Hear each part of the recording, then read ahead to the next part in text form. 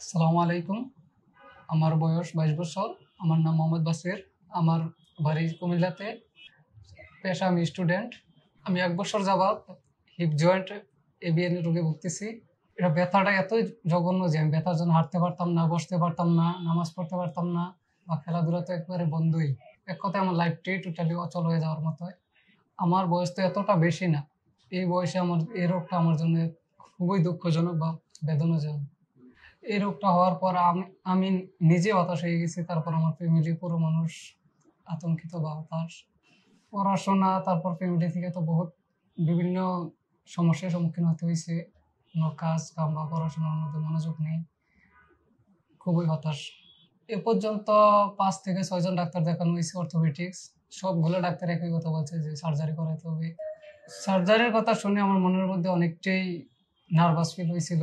অনেকটাই ভয় ভয় কাজ করছিল যে এই বয়সে সার্জারি করলে তো সব কিছুই একটা নিয়মের মধ্যে পড়ে যাবে, চলাফেরা বা সব কিছুই।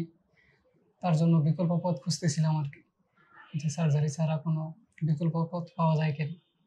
পরিবারের মানুষটা অনেক, পরিবারের মানুষ অনেকেই বলছিল যে সার্জারি করানোর জন্য। সেখানে আমি মত দিই নেই, তার জন্য সার্জারি করানো হয় নাই। বা পরিবার অনেকেই নিষেধ করছে সার্জারি করার জন্য, আবার অনেকেই মতামত দিছে যে সার্জারি করানোর জন্য। আমি নিজেই করিনি। আমি খুঁজতেছিলাম যে সার্জারি সব ডাক্তার সার্জারি বলাতে, আমি খুঁজতেছিলাম যে সার্জারির বিকল্প হিসেবে কি চিকিৎসা আছে। তারপরে ইউটিউবে, ফেসবুকে দেখলাম। দেখার পরে দেখলাম যে সফিলা প্রধান স্যার ওনার কাছে অনেক রোগী এসব রোগে আইসা অনেক ভালো হয়েছে বা অনেক ভালো ট্রিটমেন্ট পাইছে।